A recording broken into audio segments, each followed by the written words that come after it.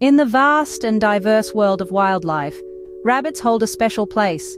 They captivate us with their soft fur, large eyes, and playful hops. Today, we explore two fascinating species of these delightful creatures, the jackrabbit and the cottontail rabbit.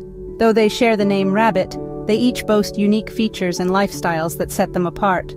Jackrabbits, despite their name, are actually a species of hare.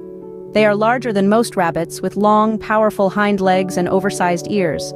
Their ears, lined with a network of blood vessels, not only help them hear threats from a distance but also regulate their body temperature in the scorching desert heat. Their coat, a blend of gray and brown, provides perfect camouflage in the arid landscapes they call home. On the other hand, the cottontail rabbit, true to its name, sports a fluffy white cotton ball tail. They are smaller in size, with shorter ears and legs compared to the jackrabbit. Their fur, a mix of gray and brown, often with a reddish tint, is perfectly adapted to blend into the grasslands and forests. Jackrabbits are built for speed.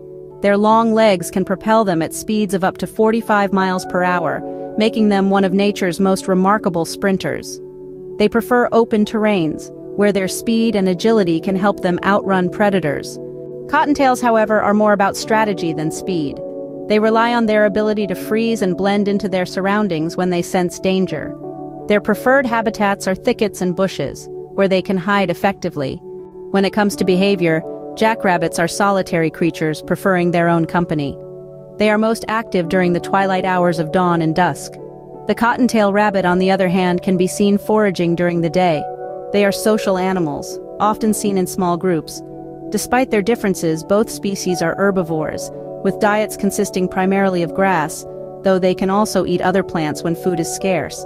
They also share a common predator, the coyote, though they each have their unique ways of escaping danger.